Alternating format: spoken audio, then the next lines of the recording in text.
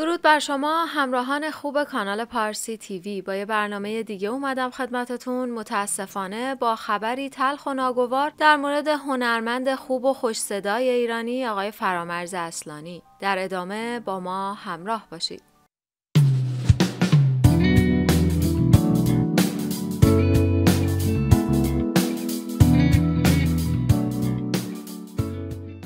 لطفا از پایین همین ویدیو عضو کانال ما بشید و با زدن زنگوله زودتر از ویدیوهای جدیدمون با خبر بشید.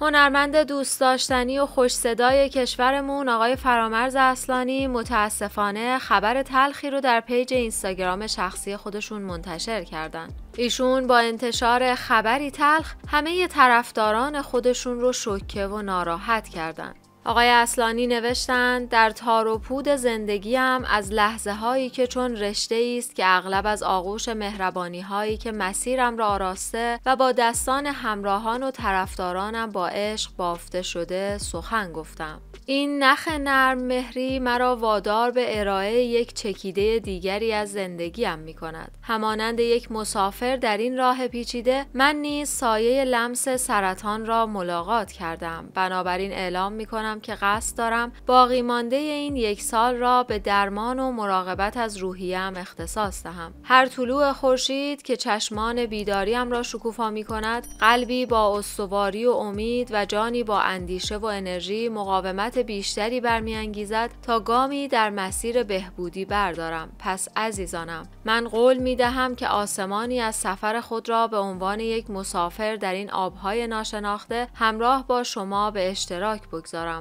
با وعده دوباره ملاقات زیر آغوش تابش نور در سپید دم در سال 1404 ایشون در ادامه نوشتند ارتباط و تماسهایم محدود خواهد بود و خود در اندیشه شما ایران و ترانه و آواز هستم.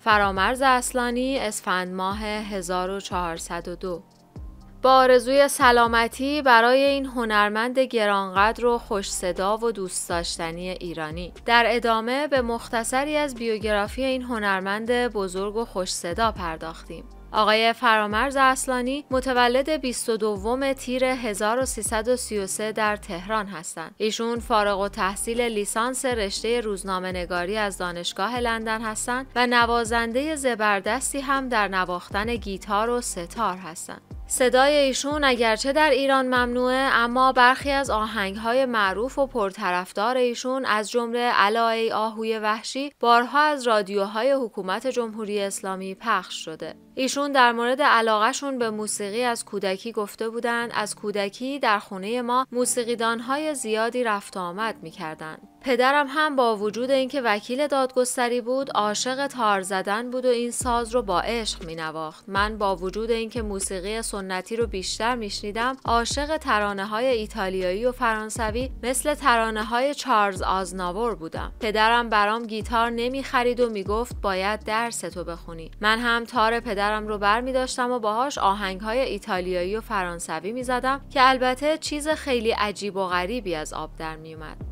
من چون از کودکی علاقه زیادی به شعر و موسیقی داشتم سراغ این راه رفتم. اگر من مثلا به جای اینکه زنده یاد بنان رو ببینم یا زنده یاد یا حقی در منزل ما رفت آمد داشته باشه مثلا یک استاد نقاشی رو دیده بودم شاید الان یک نقاش شده بودم. ولی چون با این هنرمندان از نزدیک رفت آمد داشتیم و با دنیای موسیقی آشنا شده بودم از نظر خودم احساسات خودم رو در قالب موسیقی و ترانه بیان می کنم ایشون در مورد کار روزنامه نگاریشون هم در ایام نوجوانی و جوانی گفته بودند در سنین نوجوانی از ایران بیرون اومده بودم. می‌دونید که قاعده این بود وقتی شما رو بیرون از کشور میفرستن باید حتما درس بخونید. من هم حقوق خوندم چون پدر من حقوقدان بود و به من هم گفته بود که تو هم باید قاضی یا وکیل بشی. می‌خواستند که من هم دنبال روی همون راه باشم. ولی خب من دل در گروه چیز دیگری گذاشته بودم و چون می‌خواستم با واژه ها سر کار داشته باشم دیدم نزدیکترین چیز به این علاقه من حرفه روزنامه نگاریه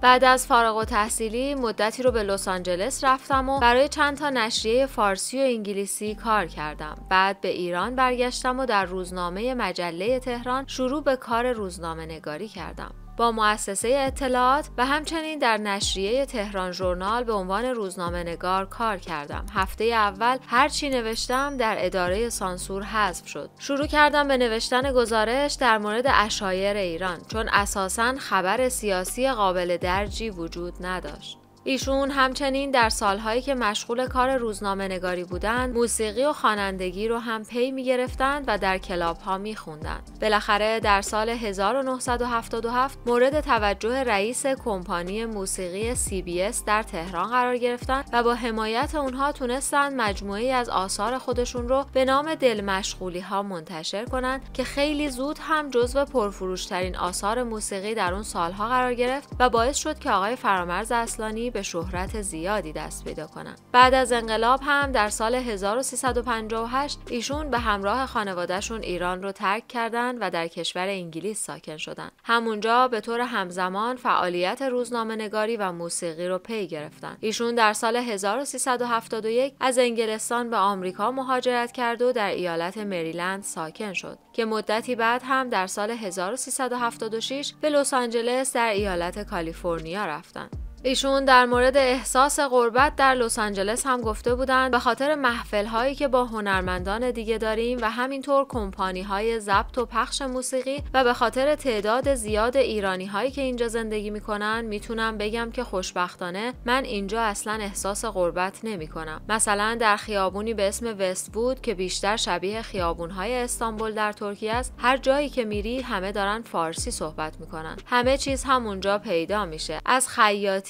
تا همه خدمات و رستوران و سوپرمارکت هایی که ما ایرانی ها دوست داریم. آقای فرامرز اصلانی تا به حال دو بار ازدواج کردند. ایشون از همسر سابق خودشون دو دختر به نامهای فدرا و رکسانا دارند که هر دو قدم در راه پدر گذاشتند و در عرصه موسیقی تحصیل و فعالیت کردند. و از دختر بزرگشون فدرا نوه کوچولوی بامزه‌ای به نام پرشیا روز دارن که به قول خودشون همه فکر و خیال و عشق و دلخوشی فرامرز اصلانیه. ایشون در مورد خوانندگان مورد علاقه خودشون هم گفتن. در ایران اولین کسی که یک گیتار به دست گرفت و به اون قشنگی خوند آقای ویگن بود. اون اولین و تنها خواننده خوب بود و ما حق انتخاب دیگه ای هم نداشتیم خوشبختانه. کار ویگن انقدر خوب بود. فرهاد هم بعد از اون خواننده خوب دیگه ای بود که با گیتار می نواخت و می خوند و من کارش رو خیلی دوست داشتم. در ادامه هم ایشون به کار مهرپویا اشاره کرد که گفت در شمار خوانندگانی بود که نوآوری داشت. بعدش هم صدای ابی و داریوش رو خیلی دوست دارم چون دوستان صمیمیم هستن. البته که در مورد داریوش هم باید بگم که خیلی با هم صمیمی هستیم و رفت و آمد داریم. همسر دوم ایشون خانم مرجان هستند که همچنان بسیار خوب و عاشقانه در کنار هم زندگی می کنند. آقای فرامرز اصلانی در مورد ساختن آهنگ هم گفتن آهنگ ساختن و ترانه سرودن انگار غریزه منه. چندین و چند دفتر پر از شعر و ترانه دارم اما روی چیزی که می‌خوام بخونم و ضبط کنم تا همه بشنون خیلی حساسم و اصلا دوست ندارم هر روز آلبوم درست کنم و منتشر کنم. آلبوم های قدیمی من هنوز فروشش مثل یک آلبوم جدیده. ایشون در مورد خاطره ساخت آهنگ اگه یه روز بری سفر هم گفته در آمریکا بودم سال 72 یا 73 شبی قرار بود من جایی برم. توی راه بارون گرفت. من هم با حرکت و صدای برف پاکن ماشین شروع کردم به زمزمه کردن. به مقصد خودم که رسیدم تقریبا آهنگ اگه یه روز ساخته شده بود. همون شب هم با گیتارم توی جمع این آهنگ رو خوندم و همه انقدر خوششون اومد که فهمیدم مورد استقبال قرار می‌گیره. با آرزوی سلامتی برای این هنرمند گرانقدر و خوش صدای ایرانی مرسی که تا این لحظه با ما همراه بودید و با لایک و کامنت هاتون از ما حمایت می‌کنید. راستی اگر هنوز عضو کانال ما نشدید از پایین همین ویدیو و با زدن دکمه سابسکرایب و زنگوله در کنار ما باشید تا از ویدیوهای جدیدمون زودتر با خبر بشید.